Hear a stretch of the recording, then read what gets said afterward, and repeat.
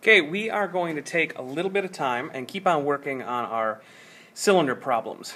Now, the big thing that we're going to do right now, in our previous videos, we figured out all this information previously about this cylinder.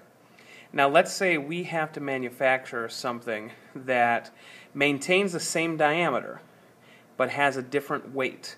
Um, and that occurs quite often. Say you need to make a counterweight on a window that opens or something along those lines. So we need to figure out um, a cylinder that weighs 4.5 pounds but maintains the same overall diameter that we have been working with.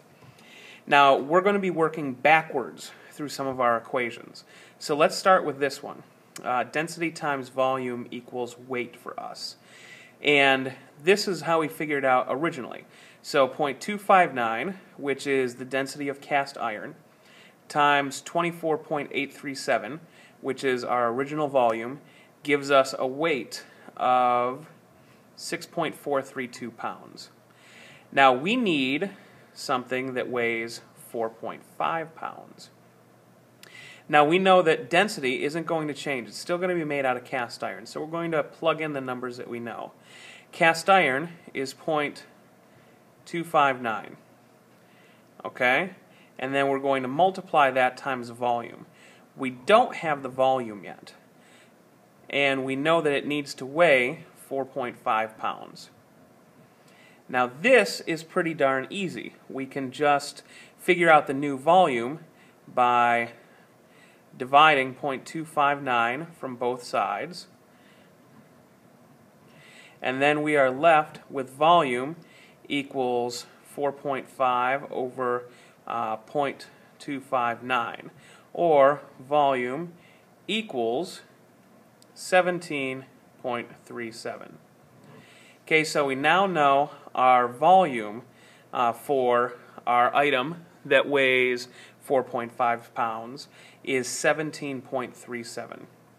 Now here's where it gets a little bit tricky, okay? So I'm going to move this up. We have our volume. I'm going to switch over here. Now we need to get our diameter, or our length, excuse me. So if I put L-E-N-G-T-H, we need the length of this. Because again, the diameter is the same.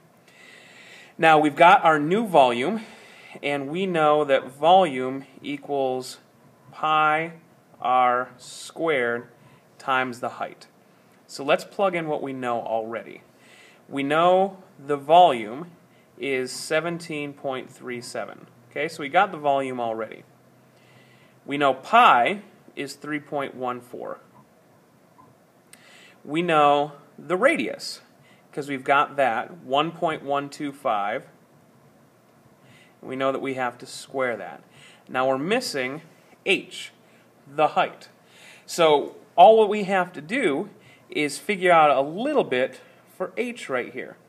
So let's uh, let's figure this out, or let's keep on uh, going with this. So if I have um, 1.125 and I have to square it, Let's see, let me get my calculator right here and figure that out. 1.125 squared is 1.265. So 1.265. Um, drop everything down. We have to multiply that. So let's multiply, drop down the h right there. Let's multiply these. So times 3.14 gives us 3.53.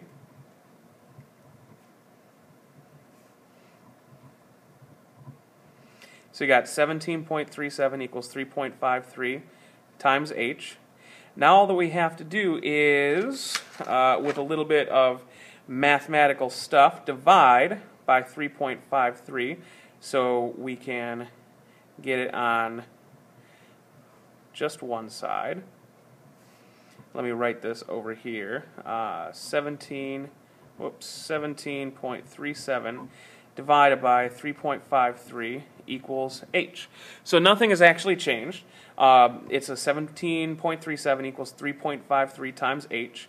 Divide by 3.53, we got 17.37 divided by 3.53 equals h.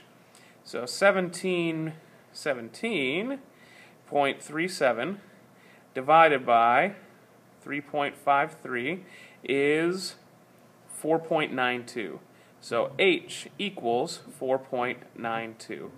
And that's actually what the entire problem was calling for. We needed to maintain the diameter, which was 2.25, but we had to figure out, uh, or it had to weigh 4.5 pounds. So we had to basically work back route, backwards through this equation. Now this is an incredibly difficult problem. Is very involved. So stop this video, rewind, and replay as many times as you need in order to understand the concept.